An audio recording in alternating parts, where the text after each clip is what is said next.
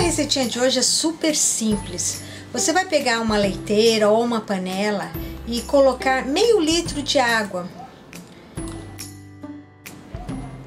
Depois você vai colocar a sua gelatina e deixar ferver.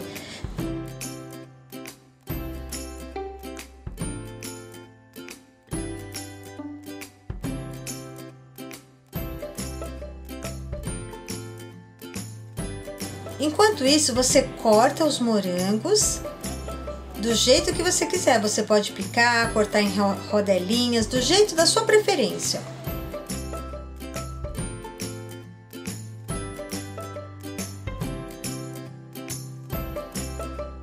Assim que a nossa gelatina estiver fria, você vai colocar numa tigelinha, mas não encher até em cima, hein?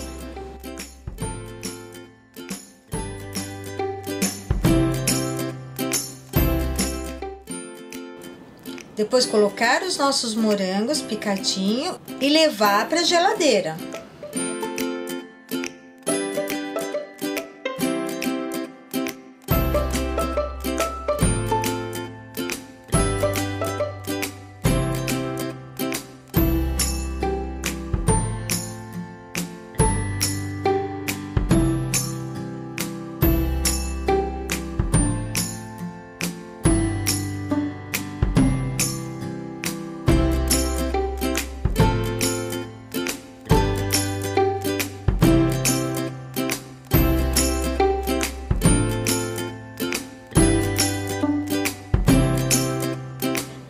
A gelatina estiver dura, você vai fazer o mesmo processo, fazer a gelatina de novo e deixar esfriar.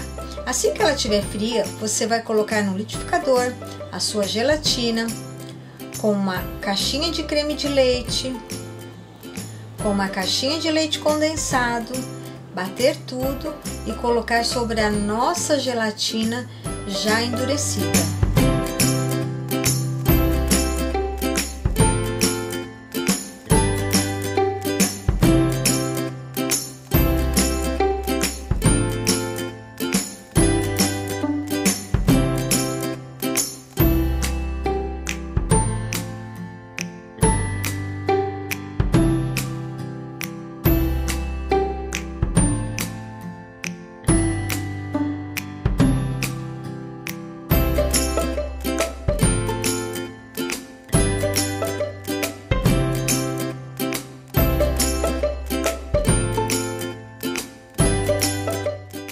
Voltar para a geladeira, hein?